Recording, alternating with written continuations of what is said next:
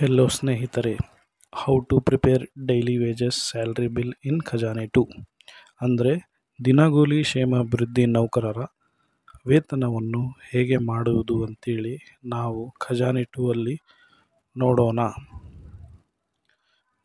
ನಮ್ಮ ಚಾನಲನ್ನು ವೀ, ಪ್ರಥಮವಾಗಿ ವೀಕ್ಷಿಸುತ್ತಿದ್ದರೆ ನಮ್ಮ ಚಾನಲ್ಗೆ ಸಬ್ಸ್ಕ್ರೈಬ್ ಮಾಡಿ ಬೆಲ್ ಐಕನ್ ಮೇಲೆ ಕ್ಲಿಕ್ ಮಾಡಿ. ಈಗ ಗೂಗಲ್ ಕ್ರೋಮ್ ಬ್ರೌಸರನ್ನು ಓಪನ್ ಮಾಡಿ ಖಜಾನೆ ಟು ಅಂತೇಳಿ ಟೈಪ್ ಮಾಡಬೇಕು. ಟೈಪ್ ಮಾಡಿದ ಮೇಲೆ ಖಜಾನೆ ಟು ಕರ್ನಾಟಕ ಸರ್ಕಾರ ಅದರ ಮೇಲೆ ಕ್ಲಿಕ್ ಮಾಡಬೇಕು. ಕ್ಲಿಕ್ ಮಾಡಿದ ನಂತರ ಲಾಗಿನ್ ಮಾಡಲು ಕ್ಲಿಕ್ ಮಾಡಿ ಅಲ್ಲಿ ಕ್ಲಿಕ್ ಮಾಡಬೇಕು. ನಿಮ್ಮ ಡಿ ಡಿ ಅವರ ಯೂಸರ್ ಐ ಡಿ ಹಾಗೂ ಪಾಸ್ವರ್ಡ್ ಅನ್ನು ನಮೂದಿಸಬೇಕು. ಕ್ಯಾಪ್ಚಾ ಕ್ಯಾಲ್ಕುಲೇಷನ್ ಇರುತ್ತೆ. ಕ್ಯಾಪ್ಚಾ ಕ್ಯಾಲ್ಕುಲೇಷನನ್ನು ಮಾಡಿ ನಮೂದಿಸಬೇಕು. ಕ್ಯಾಪ್ಚಾ ನಮೂದಿಸಿದ ಮೇಲೆ ಸೈನ್ ಇನ್ ಪ್ರವೇಶಿಸಿ. ಅದರ ಮೇಲೆ ಪ್ರವೇಶಿಸಿ. ಅದರಲ್ಲಿ ಕ್ಲಿಕ್ ಮಾಡಿ ಅದರ ಮೇಲೆ. ಕ್ಲಿಕ್ ಮಾಡಿದ ನಂತರ ಪೋಸ್ಟ್ ರೋಲ್ ಓಪನ್ ಆಗುವುದು. ಪೋಸ್ಟ್ ರೋಲ್ ಓಪನ್ ಆದಮೇಲೆ ಕೇಸ್ ವರ್ಕರ್ ಲಾಗಿನ್ ನನ್ನು ಓಪನ್ ಮಾಡಬೇಕು. ಕೇಸ್ ವರ್ಕರ್ ಮೇಲೆ ಕ್ಲಿಕ್ ಮಾಡಿ ಸಬ್ಮಿಟ್ ಮಾಡಬೇಕು.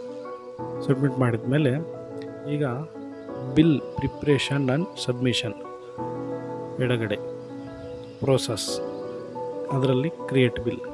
ಕ್ರಿಯೇಟ್ ಬಿಲ್ ಅಂತ ಓಪನ್ ಮಾಡಿದ ಮೇಲೆ ಈ ಥರ ಶೋ ಆಗುತ್ತೆ. ನಾವು ಯಾವ ವಲಯದಲ್ಲಿ ಬಿಲ್ ಮಾಡ್ತೀವಿ? ಜೆಡ್ ಪಿ ಅಂದರೆ ಜೆಡ್ ಪಿ ಟಿ ಪಿ ಇದ್ರೆ ಟಿ ಪಿ ಸ್ಟೇಟ್ ಇದ್ದರೆ ಸ್ಟೇಟ್ ಆ ಥರ. ಆಮೇಲೆ ಬಿಲ್ ವಿಧ. ಯಾವ ಟೈಪ್ ಬಿಲ್ ಮಾಡ್ತಿದ್ದೀವಿ ಸಿ ಟಿ ಸಿ ಫೈಯಲ್ಲಿ ಬಿಲ್ ಮಾಡಬೇಕು. ಸಿ ಟಿ ಸಿ ಫೈಯಲ್ಲಿ ತೊಗೋಬೇಕು ಇದು. ಸಿ ಟಿ ಸಿ ಫೈಯಲ್ಲಿ ತೊಗೊಂಡಿದ ಮೇಲೆ ನೆಕ್ಸ್ಟ್ ಬಂದು ಕ್ಲಮೆ, ಕ್ಲೇಮ್ ಟೈಪ್, ಕ್ಲೇಮ್ ಟೈಪ್ನಲ್ಲಿ ನಾವು ವೇಜಸ್ ಅಂತೇಳಿ ಸಬ್ಮಿಟ್ ಮಾಡಬೇಕು. ಆಮೇಲೆ ಓಪನನ್ನು ಕ್ಲಿಕ್ ಮಾಡಿ.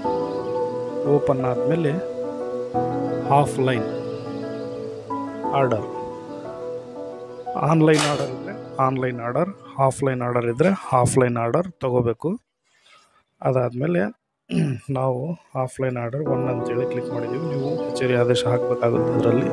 ಕಚೇರಿ ಆದೇಶ ಹಾಕಿದ ಮೇಲೆ ಕಚೇರಿ ಆದೇಶದ ಡೇಟ್ ಸಬ್ಮಿಟ್ ಮಾಡಬೇಕು. ಅದಾದಮೇಲೆ ಓಪನ್ ಆಗುತ್ತೆ. ಓಪನ್ ಆದಮೇಲೆ ನಿಮಗೆ ಜನರಲ್ ಡೀಟೇಲ್ಸ್, ಸಾಮಾನ್ಯ ವಿವರಗಳು.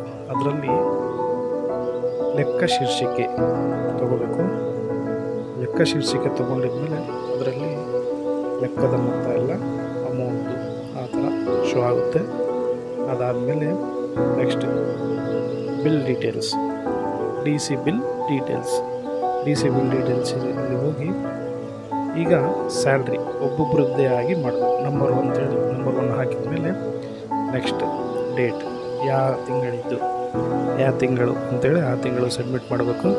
ಆಮೇಲೆ ವೆಚ್ಚದ ವಿವರಣೆ ಕೊಡಬೇಕು. ವೆಚ್ಚದ ವಿವರಣೆ ಅಂದರೆ ಈಗ ಸೆಪ್ಟೆಂಬರ್ ತಿಂಗಳಿನ ವೇತನ ಆ ಥರ ಸಬ್ಮಿಟ್ ಮಾಡಬೇಕು. ಸೆಪ್ ಸೆಪ್ಟೆಂಬರ್ ತಿಂಗಳ ವೇತನ ಇಲ್ಲ ಅಕ್ಟೋಬರ್ ಆ ಥರ September salary bill two thousand twenty four twenty three ಆ ಥರ ಯಾವ ವರ್ಷ ಇರುತ್ತೆ ಆ ಥರ ವರ್ಷ next recipient code recipient code ಹೇಗಂದರೆ recipient I D already create ಮಾಡಿರ್ತಾರೆ. ಅದು ಗೊತ್ತಾಗಿಲ್ಲ ಅಂದರೆ ನೆಕ್ಸ್ಟ್ ಒಂದು ವೀಡಿಯೋ ಮಾಡಿ ಹಾಕ್ತೀನಿ ಅದ್ರ ಬಗ್ಗೆ. ಆ ಕೋಡನ್ನು ಸಬ್ಮಿಟ್ ಮಾಡಬೇಕಿಲ್ಲಿ.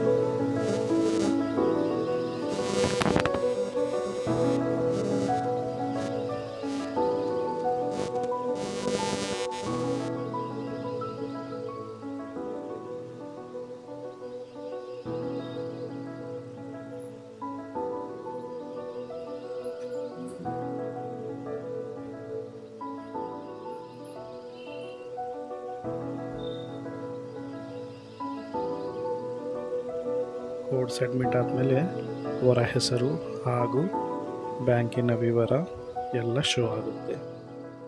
ನಾವು ಅಮೌಂಟ್ ಎಷ್ಟು ಇವರಿಗೆ ಸ್ಯಾಲ್ರಿ ಮಾಡೋ ಮೊತ್ತ, ಅಂದರೆ ಆಲ್ರೆಡಿ ಇವ್ರದ್ದು ನೈಂಟಿ ಪರ್ಸೆಂಟ್ ಇರುತ್ತೆ. ಫಸ್ಟ್ ಹಂಡ್ರೆಡ್ ಪರ್ಸೆಂಟ್ ಬೇಸಿಕ್ ತೊಗೋಬೇಕು, ಆಮೇಲೆ D A ninety percent H R A ninety percent ತೊಗೊಂಡು ಕ್ಯಾಲ್ಕುಲೇಷನ್ ಮಾಡಿ ನಾವು ಒಂದು ಮೊತ್ತ ಫಿಕ್ಸ್ ಮಾಡಿ ಆ ಮೊತ್ತವನ್ನು ತುಂಬಬೇಕು. ತುಂಬಿದ ನಂತರ ಡಿಡಕ್ಷನ್ ಡಿಡಕ್ಷನನ್ನು ಮಾಡಲೇಬೇಕಾಗ್ತದೆ. ಡಿಡಕ್ಷನ್ ಏನು ಮಾಡಬೇಕು ಅಂದರೆ ಅದೇ ಪ್ರೊಫೆಷ್ನಲ್ ಟ್ಯಾಕ್ಸ್ ಉದ್ದೇಶದಲ್ಲಿ ಹೋಗಿ ಪ್ರೊಫೆಷ್ನಲ್ ಟ್ಯಾಕ್ಸ್ ಚಾಯ್ಸ್ ಮಾಡಬೇಕು. ಟ್ಯಾಕ್ಸ್ ಡಿಡಕ್ಷನಲ್ಲಿ ಹೋಗಿ ಅದರ್ಸ್ ಅಂತ ಕ್ಲಿಕ್ ಮಾಡಬೇಕು ಅದರ್ಸ್ ಅಂತ ಕ್ಲಿಕ್ ಮಾಡಿದ್ಮೇಲೆ ನಾವು ಅಲ್ಲಿ ಹೆಸರುಗಳು ಶೋ ಆಗುತ್ತೆ. ಅವರ ಹೆಸರನ್ನು ಕ್ಲಿಕ್ ಮಾಡಿ ನೆಕ್ಸ್ಟ್ ಅಮೌಂಟ್ ಬರುತ್ತೆ. ಅಮೌಂಟಲ್ಲಿ ಟೂ ಹಂಡ್ರೆಡ್ ಅಂತೇಳಿ ಸಬ್ಮಿಟ್ ಟೂ ಹಂಡ್ರೆಡ್ ಅಂತೇಳಿ ಸಬ್ಮಿಟ್ ಮಾಡಿದ್ಮೇಲೆ add P R P R deduction click ಮಾಡಿ ಸಬ್ಮಿಷನ್ ಮಾಡಬೇಕು. ಆಮೇಲೆ ನೆಕ್ಸ್ಟ್ ಇದಾದಮೇಲೆ.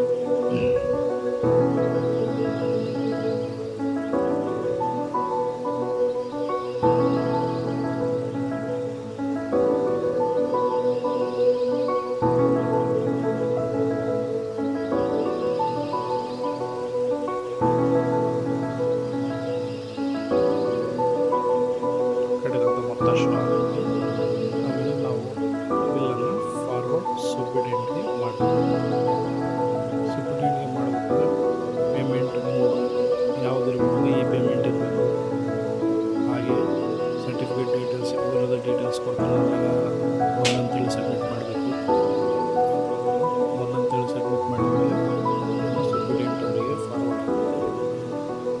ನೆಕ್ಸ್ಟು ಸುಪಿಡೆಂಟ್ ಅವರಿಗೆ ಫಾರ್ವರ್ಡ್ ಆದಮೇಲೆ ಸುಪಿಡೆಂಟ್ ರೋಲಲ್ಲಿ ಯಾವ ಥರ ಈ ಬಿಲ್ಲನ್ನು ಪಾಸ್ ಮಾಡಬೇಕು?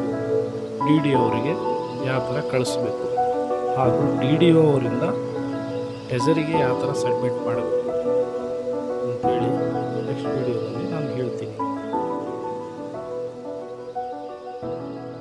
ಧನ್ಯವಾದಗಳು ಫ್ರೆಂಡ್ಸ್